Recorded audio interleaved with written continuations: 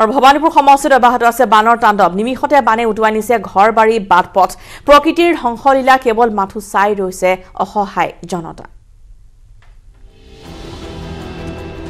হয় উপস্থিত থকা স্থানটো হৈছে বজালী জিলাৰ অন্তৰ্গত। মেধিকুচি অঞ্চল। আৰু য'ত আমি ইতিমধ্যে দেখুৱাইছিলোঁ যে পহুমাৰা নৈৰ কি ধৰণৰ আচলতে কালৰূপ ধাৰণ কৰিছিলে আৰু তাৰপিছত তাৰ মথাউৰি ছিঙিছিলে। আৰু মথাউৰি ছিগাৰ ফলস্বৰূপে ইতিমধ্যে হাজাৰ হাজাৰ লোক ইতিমধ্যে গৃহহীন হৈছে। বহু লোকৰ ঘৰ দুৱাৰ ইতিমধ্যে উটুৱাই লৈ গৈছে আৰু তাৰপিছত সেইসকল লোক এতিয়া অসহায়। আৰু মোৰ পিছপিনে থকা যিখন এয়া হৈছে মেডিকুচি অঞ্চলৰ এখন গাঁও।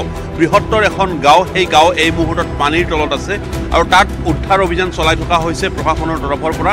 ইতিমধ্যে যিসকল জ্যেষ্ঠ যিসকল আৱাসী আছে বা যিসকল লোক আছে সেইসকল লোককো ইতিমধ্যে প্ৰশাসনৰ তৰফৰ পৰা লৈ গৈছে।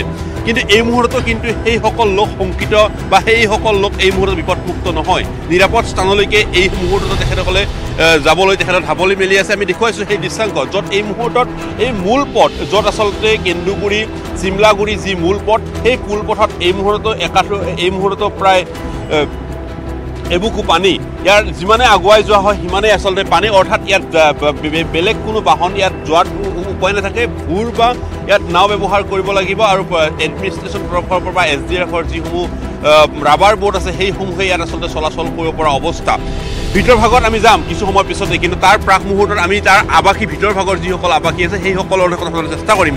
এই মুহূৰ্তৰ পৰিৱেশখন ছবিখন কি ভিতৰত আচলতে?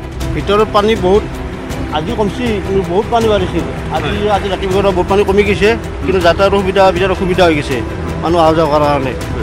আৰু ৰাস্তা খান্দি গৈছে খান্দি গৈছে। আৰু চাইকেল বা বাইক কোনো অহা যোৱাৰ ব্যৱস্থা নাইয়ে কোনো। আৰু কোনো ৰিলিফ বা কোনো খবৰ লোৱা নাই ইয়াতে কোনো অহা নাই তাৰমানে। অহা নাই। ঘৰসমূহৰ যিসমূহ মাটিৰ ঘৰ বা অন্যান্য ঘৰসমূহৰ অৱস্থা কেনেকুৱা? মাটি হৈ গ'লে নাই কামেই নাই চব ভাঙি গৈছে। মাটি পকা আজি ছটা দিন হ'ল। অঁ ছটা দিনৰ মাটি হৈ গ'লে কামেই চব ভাঙিছে খহি গৈছে পকা ঘৰগিলাখান আছে বাকী মানুহখিনিক থকা বাকী অন্যান্য স্থানলৈকে লৈ যোৱাৰ ক্ষেত্ৰত ব্যৱস্থা কিবা গ্ৰহণ বা এই মুহূৰ্তলৈকে এডমিনিষ্ট্ৰেশ্যনৰ তৰফ- লোক প্ৰৱেশ কৰি তেখেতসকলক খোৱা খাদ্য সামগ্ৰী কিবা যোগান ধৰে? নাই একো যোগান ধৰা নাই বৰ্তমান একো পোৱা নাই বিলিব পোৱা নাই একো পোৱা নাই। এই মুহূৰ্তত আৱাসীসকলৰ অভিযোগ যে তেখেতসকলক কোনো ধৰণৰ এই মুহূৰ্তত সা সামগ্ৰী বা অন্যান্য ব্যৱস্থা লোৱাৰ কাৰণে কোনো পদক্ষেপ নোলোৱা বুলি অভিযোগ উত্থাপন কৰা হৈছে। আমিও আমিও কথা পাতিছিলোঁ যেতিয়া পহুমাৰ নৈৰ সেই মথাউৰি চিঙাৰ ফলস্বৰূপে ইতিমধ্যে বিধ্বস্ত হৈ পৰিছিলে তাৰ সমগ্ৰ মূল পথ বিধ্বস্ত হৈছিলে। একেদৰেই গৃহহীন হৈছিলে বহু লোক আনকি বহু লোকৰ ধন সম্পত্তি বুলিবলৈ আচলতে সাঁচতীয়া বুলি যিসমূহ ফাৰ্ম বা অন্যান্য যিসমূহ তেখেতসকলে কাম কৰিছিলে সেইসমূহৰো আচলতে এই মুহূৰ্তত সকলোবোৰ নিশেষ হৈছিলে। দাদা কিমানমান দূৰৰ পৰা আহিছিলে আপুনি?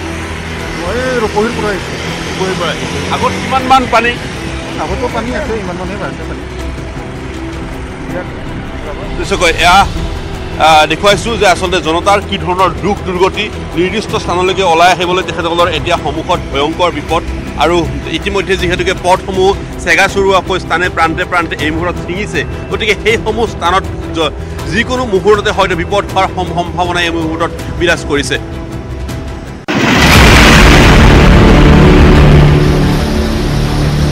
ভৱানীপুৰৰ আমি সৰুটপা অঞ্চলত উপস্থিত আছোঁ। এটাৰ পাছত আনটোকৈ বাসগৃহ এই মুহূৰ্তত প্লাৱিত হৈছে। শিৱসাগৰৰ ঐতিহাসিক দিচাংমুখৰ বৃহত্তৰ এলেকা বানত ডুব গৈছে। কেমেৰা সযোগে পোনে পোনে দৃশ্য দেখাব। এয়া হৈছে বেলখেই নদীৰ বাঢ়নি পানী। মুহূৰ্তত আচলতে বানে কালৰূপ ধৰিছে তীৰ্থনগৰী হাজোতো আৰু মই বৰ্তমান উপস্থিত আছোঁ বজালীৰ ভৱানীপুৰ সমষ্টিৰ তালতলত। অবৰ্ণনীয় এখন পৰিৱেশ